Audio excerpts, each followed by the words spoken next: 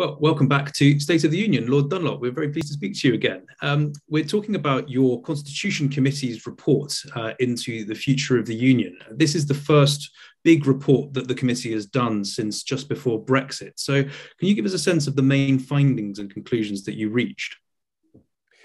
Well, I think what the report is all about is is how we kind of reset the relationships between the UK government and the other governments within the United Kingdom.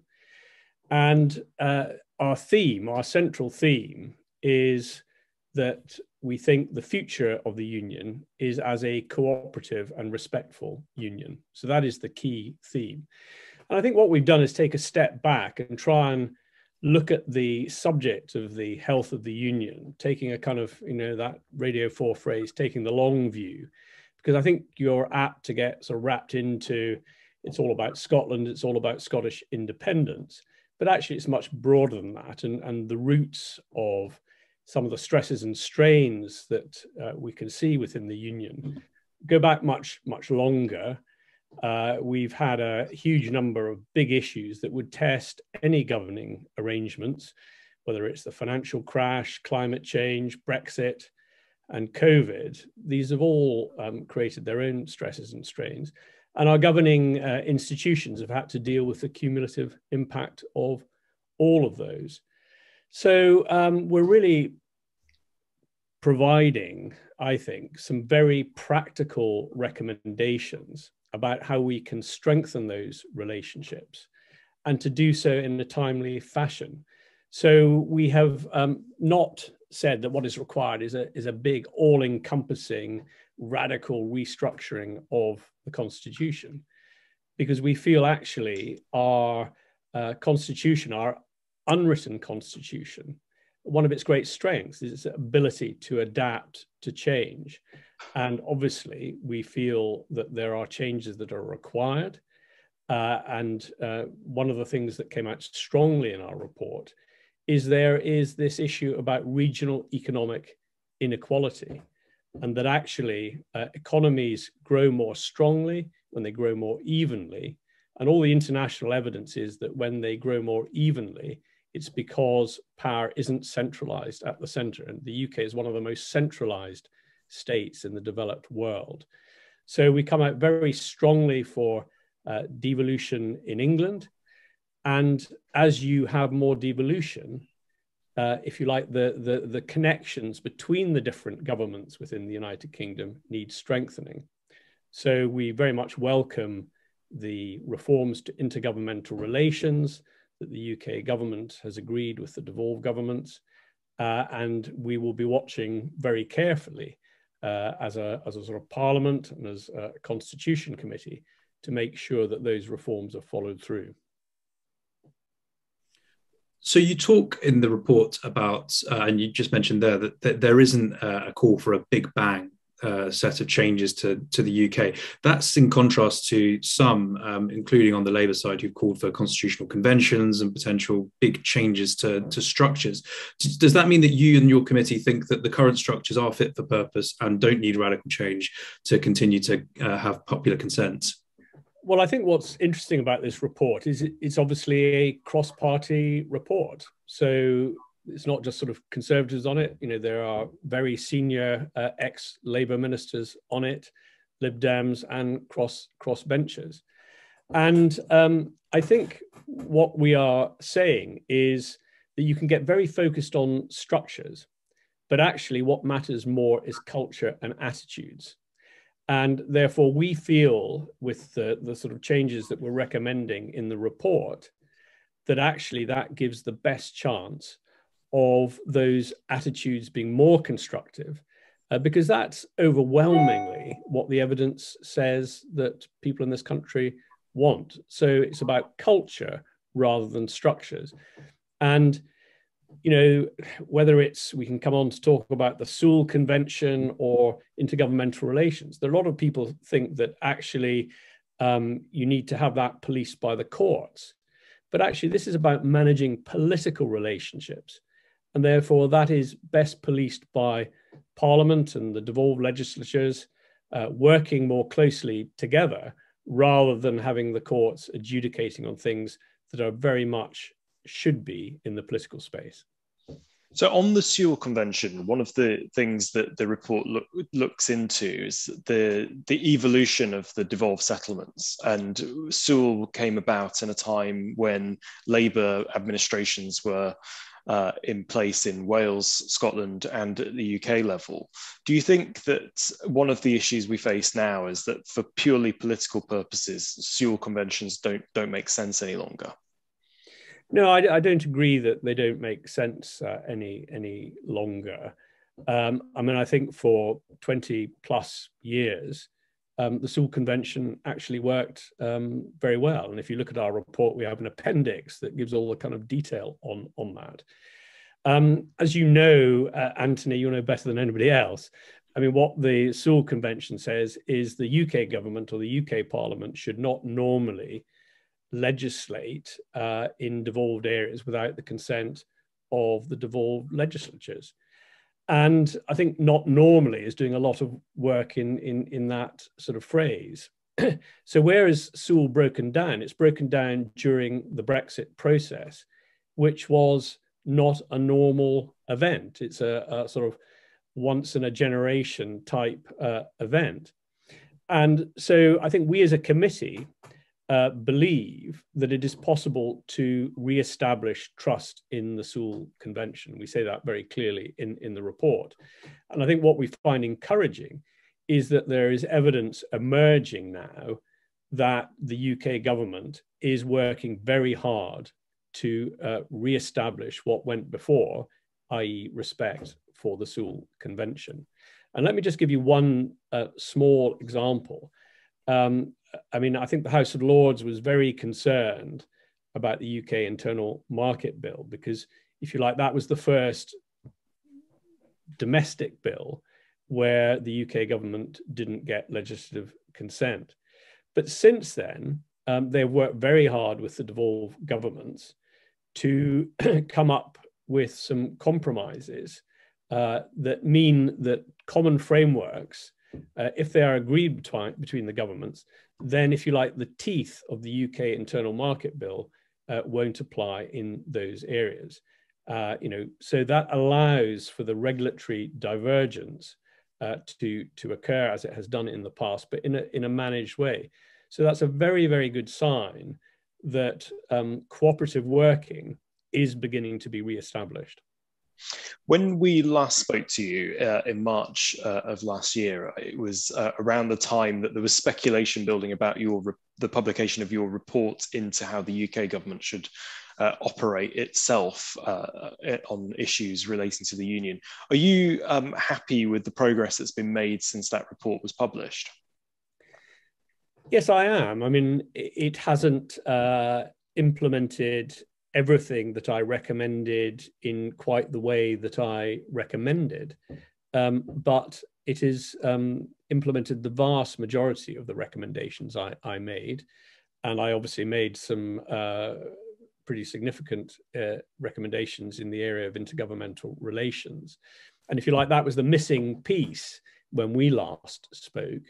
Uh, and now the government has addressed that. And I think you know most uh, independent commentators that has looked at the package that has come out uh, has been quite impressed uh, and it has got the support of the welsh first minister and indeed nicola sturgeon in scotland. I think the key thing is now to to build on that and you know the proof of the pudding will be in in the eating. You know the structures are good the processes are good but how how will it be operated? And will it move from being a forum for managing differences and even a platform for accentuating those differences into becoming a genuine um, uh, forum where joint policy, policy initiatives are taken and decisions are taken, because that will give vitality and life uh, to, to this whole area. And I think will make a huge difference to the overall sense of trust and confidence in how the UK has been governed. Um, and, uh, sorry, sorry, you go ahead, Fraser. I was going to take back to the, the point about um, uh, the Sewel Convention, and one of the things that comes out in the report is the sense that the House of Lords could play a strengthened role uh, in acting as a sort of early warning system and um, understanding where there might be issues during the process of a bill and not merely at the final stage. Um, do you see that that role as coming from the fact that the Lords can perhaps be seen as a, a slightly more neutral broker? Is, are you trying to suggest that the Lords uh, can help facilitate um, some more of the thorny aspects of intergovernmental relations? Yes, I think I think not exclusively, but I think I think for, for the reasons that you suggested, I think yes yes we can. And I mean, we've already um, played that role in, in, in the past when Brexit was going through. I mean, there were changes. Uh, you may even have been a special advisor uh, working in government at the time for, for David Lidington, where there were amendments that were made. Uh, I, I, forget, you know, the EU withdrawal bill. Um, there was great controversy over, over that, the freezing power and, and, and all the rest of it. Uh, and as a result of work done by the House of Lords. Um, that was amended and it got the support of the Welsh government, if not the Scottish government. Um, so I think that illustrates that we can play that sort of role. And I thought what was very interesting as part of our inquiry is that we reached out to um, all the devolved legislatures. We went to Edinburgh to meet the Scottish Parliament, Wales to meet the Welsh Assembly, and interacted with the Northern Ireland Assembly. And is that there is a great appetite um, in those institutions to actually work more closely with us. And although there's lots of political rhetoric about the House of Lords, actually behind the scenes, the fact that we're not uh, on the front line of the party political battle every day, um, but can take the time to dig into these issues, I think is uh, seen as a very big plus point uh, in those uh, places. So yes, I do think we can play a big role, not not exclusively, and I do think more transparency and scrutiny of these issues will improve the overall outcomes. Um, could I could I ask you, Andrew, about um, England? Because one of the things that came out of the the report in some detail was the anticipation that levelling up um, and how England's uh, structures in terms of mayoralties and local devolution deals is, is in part uh, an answer to um, having a more balanced union. What, what is it that you would want to see in the future levelling up white paper that would really facilitate that? Well, I think ambition that that that that that's the key thing, uh, and um, I, I, think, as I said at the beginning, you know, the UK is one of the most centralised states, and um, I think we received some very powerful uh, evidence from the local government uh, association, uh, a conservative and, and a Labour uh, leader of that association. And, and both of them were saying the same thing that actually, if you give us more, more power and uh, the resources to exercise those powers, then actually we can make um, you know public services better, money go further, and they had the evidence to to back back that up. So I would be looking for an ambitious leveling up paper uh, that isn't just about um, government doling out cash um, for local authorities to implement centrally decided priorities, but much more flexibility so that uh, local authorities, mayoralties, combined authorities can plan on a multi-year basis and can also um, shift money between budget heads to achieve better outcomes in a particular lo- locality. Because often, if you're trying to tackle a big public policy issue, it's not just about education or it's not just about infrastructure, it's not just about health. It, it, it's a combination of all of them. And giving these authorities properly accountable to their you know local electorates, uh, more flexibility in that area, I think could produce um, better results. And we saw that during COVID. I mean, uh, track and trace originally very centralized, but actually, you know, the effectiveness of track track and trace depended hugely on sort of local know-how uh, and local relationships and connections. And so ambition, that's what I would like to see from this leveling up paper. And given that Michael Gove is in charge, uh, I think there's a good chance of that. As always with these things, you know, will the Treasury properly fund it? Uh, will they let go of the purse strings sufficiently to make sure that this initiative makes a big difference? Um, and on a slightly different tangent, um, the you said um, on the preparation for this report, you spoke with um, the Welsh uh, Parliament and the Scottish Parliament and, and colleagues across uh, the, the governments of the United Kingdom. In Wales at the moment, there is uh, a commission taking place looking at the constitution as well that the Welsh Labour government has uh, set up, which is co-chaired by uh, Rowan Williams and Professor Laura McAllister. And they have said that um, potentially independence uh, should be reviewed as part of that process. Is that something you think the UK government should engage in to give the counter argument to um, you know, to, to the people that will argue that Welsh independence is now worthy of consideration by the Welsh government? Well, I think I would be disturbed if the Senedd, you know, was spending a lot of its time thinking about independence for Wales, because I think that's a complete distraction on what should be the priorities for the country at this moment in time. And, you know, so I think that about Wales uh, as I do about uh, Scotland. Uh, so I hope um, that uh, if they are going to consider that issue, that they, um, you know, get evidence from, you know, the side of the debate that thinks it would be a distraction, and actually that thinks the the, the, the union, if if if it didn't already exist, would be wanting to in, in, in invent it. Um, I can't speak for you know what the the UK government uh, role in that would would be. Um, I was slightly surprised that that was in the terms of reference because I think it's about how do we work more closely together, not how do we pull pull apart at this time of great challenge. And the next decade uh, is going to be a very demanding one for the for the country. And you know, um, I, I've been in in and around politics for a long time. I can't remember a time when um, you know the changes are so dramatic or happening at such unparalleled pace. Uh, and you know we we need to be focusing on the here and now uh, rather than you know constitutional bickering. Uh, you know because I think people want us to be focusing on the practicalities of how do we improve their their lives, and I think this would be a complete distraction. On the um, the union itself, the report highlights a, a, lack of overall coherence from successive governments that that you say have, have undermined the strength of the union, and that the government needs a new vision for the 21st century version of the union.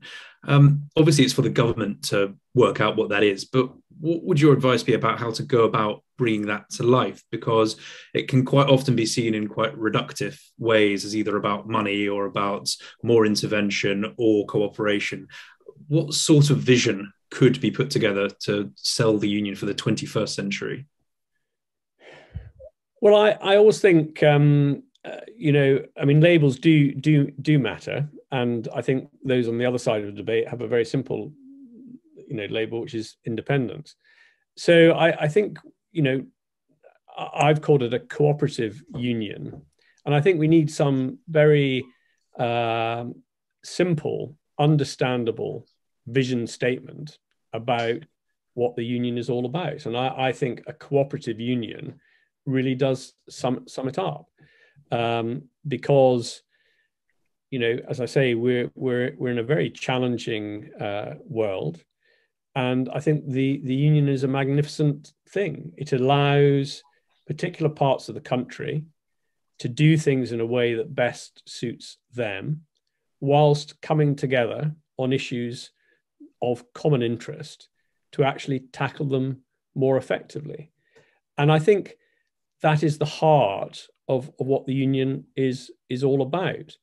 And why does that work? Because it also links into the geographical fact that we live on quite a small island off the western seaboard of Europe, but it also reflects the fact that of the, the, ties of family and friendship that have grown up across the country over many years.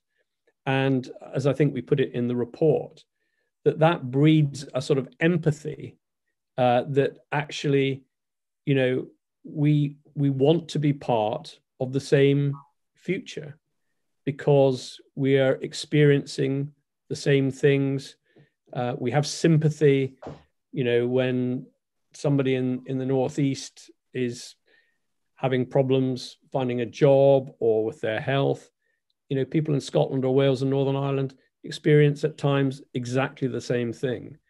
And it is that sense of solidarity that I think needs to be at the heart uh, of any vision for, for the union. But you're right. You know, that sounds very highfalutin. And I think any successful vision for the union needs to relate it to the life experiences of every person that lives in this country. How is this going to secure the future for me and my family in the decades ahead? So it needs to be rooted in practical uh, examples of how this will impact on the everyday lives of people living uh, on this, these islands. And do you think that the the structures that you proposed in your report and that the government have now implemented jointly with the devolved administrations can be a vehicle to have conversations about policy that actually affects people, even though it may be devolved? Because um, intergovernmental structures and relations have often been about um, the sorts of things that your report talks about. Where is something devolved? Where does it need consent? Where are the where are the lines? Whereas covid has shown that public health doesn't respect national borders, even though there may be different policy decisions that can be taken. Do you think that uh, there should be an appetite to discuss shared policy areas, even while recognizing that the specific responsibility may not be reserved, it may, may be devolved? And do you pick up um, an appetite, including from the parliaments as much as the governments themselves in Scotland, Wales, and Northern Ireland, to have a more UK wide discussion about things like that? Yeah, yes, I, I, I, I do actually. Uh, but again, you know, we'll have to test that in in the months and years uh, ahead. But I think it's a two-way street, and I think I think both sides need to be a little bit less sort of precious about these things. And I think one of the great benefits of devolution is because you're able to do things differently. You can sort of test the effectiveness of different approaches to different policy challenges and then learn um, from each other. And I think these new structures will be a great uh, framework for, for actually doing that. But, but I would like to see it becoming a less defensive exercise and actually identifying some real strands of policy that can become work streams that all the governments sign up to to work together on. You know, climate change is a great example of that you know there is a, a kind of UK dimension to that, but you know how successful we are will depend on what happens on the ground locally. So that would be a great one.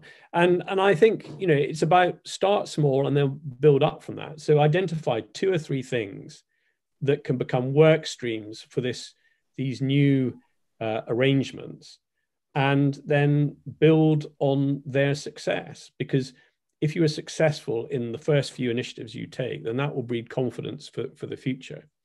And it does come back to respect. Both sides have been guilty uh, at times of not respecting the other.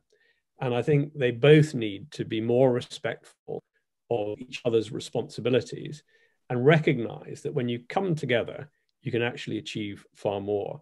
So that's what I would like to see. Uh, and I think it would be a very good start. Um, you know, I think the UK government needs to take a, a lead in this. Um, so, you know, the first meeting uh, of this new tier two, you know, because there's only um, a plenary once in a while, would be to really have a discussion about what are those policy areas that are going to become joint initiatives for, for all the governments then that should be published. There should be a debate about it in Parliament. There should be a de- debate about it in all the devolved legislatures and actually engage the public in it because that's the way we'll get these institutions um, working properly, being a vital part of our constitution. So let's wait and see. But um, you know what I'm hearing is is some good things about policy areas. I mean, let's see what happens on free ports will free ports fly, if that's not a contradiction in terms, in Scotland? Uh, I hope so. If they do, then that will be a good sign this is all heading in the right direction. And just finally, given that trust and cooperation is such a theme of everything that's recommended for intergovernmental relations, um, that trust has collapsed between the Scottish Conservatives and the Central Party. Um, how damaging is that to the broader cause of unionism when unionist parties fall out in the public and quite unpleasant way that has happened over the last couple of a couple of weeks? And can you see a way back for that relationship for as long as Douglas Ross and Boris Johnson both hold their positions? Gosh, you're asking me a really tricky, tricky question there. Um, I mean, it's certainly not helpful, is it? You know, uh, I mean, if, if you support the union, um, you want political parties that range across the union. Uh, and I certainly do not advocate that the response to this um, falling out is that there should be a, a new centre right party. And we haven't got time to go into all the re- reasons for that. Um, you know, I, I'm on public record uh, about the Prime Minister's position, uh, and um, I, I, certainly think he should be thinking hard about his position. And I'm very confident that by the time we get to the, the, the general election, this may not be the problem as appears now.